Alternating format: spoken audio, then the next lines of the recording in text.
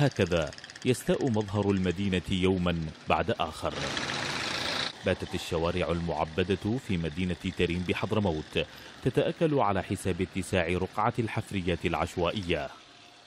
ينعكس كل ذلك على المواطنين ويزيد من وتيرة الحوادث المرورية ويكبدهم خسائر تلحق بمركباتهم ووسائل مواصلاتهم ويهدد سلامتهم الشخصية ناهيك عن إعاقة حركة تنقلاتهم وتأخرها. الحفر منتشرة وطبعا في أغلب الشوارع يعني لا تحصل شارع ما في حفرة أبدا. وهذا يعني سببت كثير من الحوادث وسببت تعطيل في السيارات وأعاقت حركة المرور.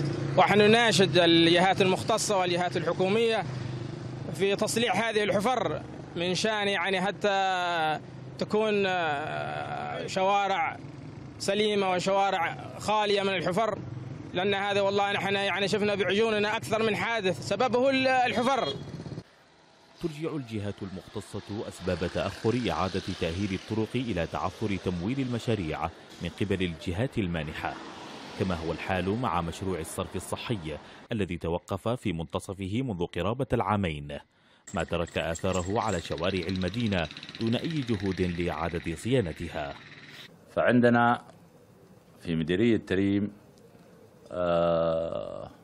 أسقط لها مشروع الصرف الصحي ولكن آه، تعثر آه، لأن مشروع مركزي لا لنا يد عليه إن شاء الله خلال هذا العام يستكمل المشروع وبتسد الحفر أو غالبية الحفر بتسد من المشروع وبتسفلت الشوارع لأنها هي على المقاول نفسه إعادة سفلتة ما ما حفر.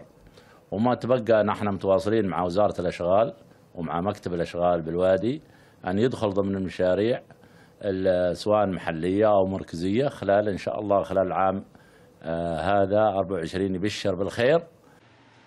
معاناة متواصلة تخلفها حفر وانهيارات الشوارع في ظل غياب مشاريع الصيانة الدورية من قبل الجهات الرسمية.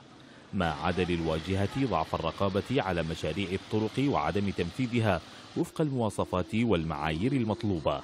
إلى جانب غياب التخطيط الجيد للبنية التحتية وتكاملها مع مشروعات الطاقة والمياه.